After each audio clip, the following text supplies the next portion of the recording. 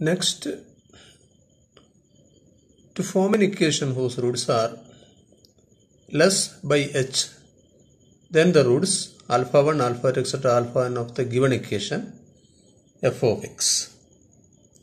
That equation gives number 1. f of x has roots alpha 1, alpha 2, etc. alpha n. That are the values of x. To find an equation whose roots are less by h than these roots, that is, to find an equation whose roots are alpha 1 minus h, alpha 2 minus h, etc., alpha n minus h. Therefore, we take y is equal to x minus h. because when x takes the values alpha 1, alpha 2, etc., alpha n, y takes the values alpha 1 minus h, alpha 2 minus h, etc., alpha n minus h.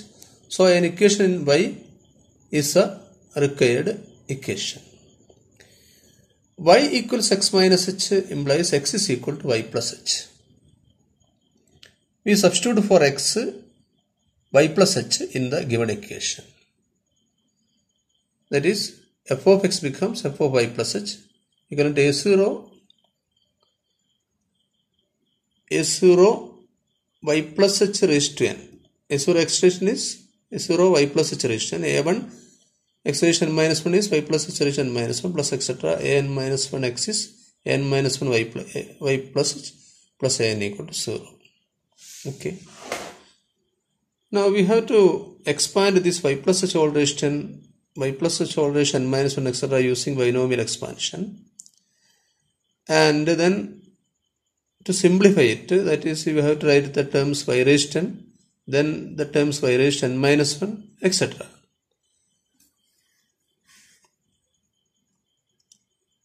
That is, to find the coefficients of y raised to n, y raised minus 1, etc. is difficult here. So, we are assuming that coefficient says b0 y raised to n plus b1 y raised minus 1 plus etc. bn minus 1 y plus bn equal to 0. Where these b0, b1 etc. bn are unknown at present. But this b0, b1 etc. bn can be found uh, very easily by some method. Now we replace again this y by x minus h. We replace here y by x minus h.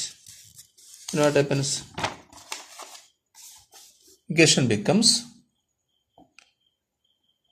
b0 x minus h raised to n plus b1 x minus h raised n minus 1 plus etc. bn minus 1 into x minus h plus bn. That is, this is an equation in x. The given equation is also in x. Therefore, this equation is equivalent to or same identical as a given equation. Therefore, we represent this equation by f of x. That is f of x equal to b0 x minus h raised plus b1 x minus h raised minus 1 plus etc. plus bn minus 1 x into x minus h plus bn. Okay, we are taking x minus h outside from all the terms except the last bn. And that is f of x equal to x minus h into some bracket there plus bn outside. Okay. Then you see this 25 equal to 7 into 3 plus 4. Then what is what is meaning? That is 4 is a remainder when 25 is divided by 7.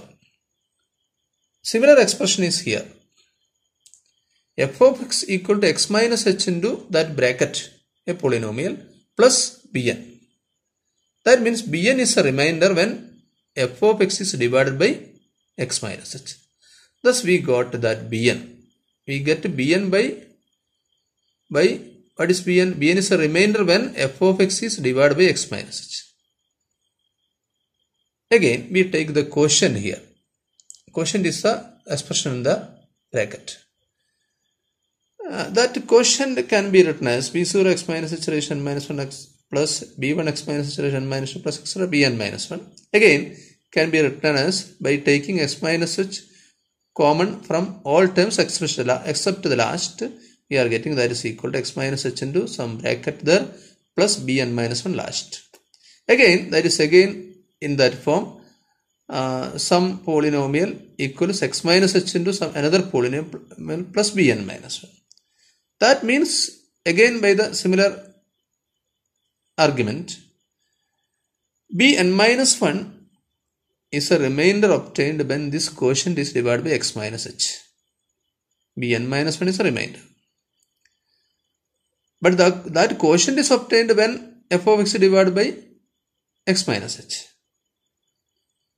That is, when f of x is divided by x minus h, we get a quotient. Then that quotient is again divided by x minus h, we get a remainder bn minus 1. Therefore, we can see that this bn minus 1 is a remainder when f of x is divided by x minus h two times. Thus, we have these remainders bn, bn minus 1, bn minus 2, etc., b2, b1 are the remainders obtained when f of x divided by x minus h successively n times. That is, bn is the remainder when f of x divided by x minus h. bn minus 1 is the remainder when f of x divided by x minus h two times.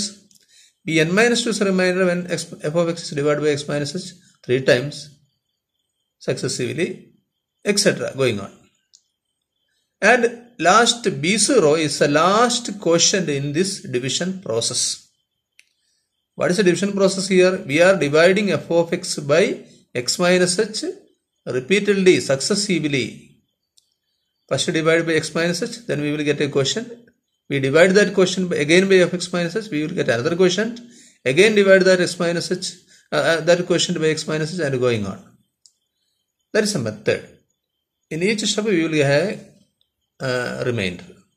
That remainders are the are respectively bn, bn minus 1, etc., b1 and last b0 is the last quotient in the division process.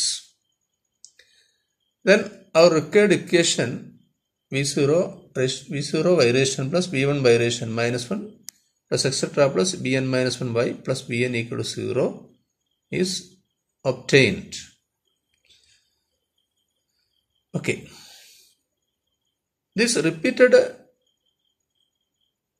division by x minus h can be performed in a single step by using the method of deta- detached coefficients that can be explained in the problem. Okay. One thing to be noted that uh, roots increased by h equivalent to roots decreased by minus h. We have the method discussed when the roots are less by h or decreased by h. Therefore, when the question is to increase by h, we convert that into decrease by minus h. Okay.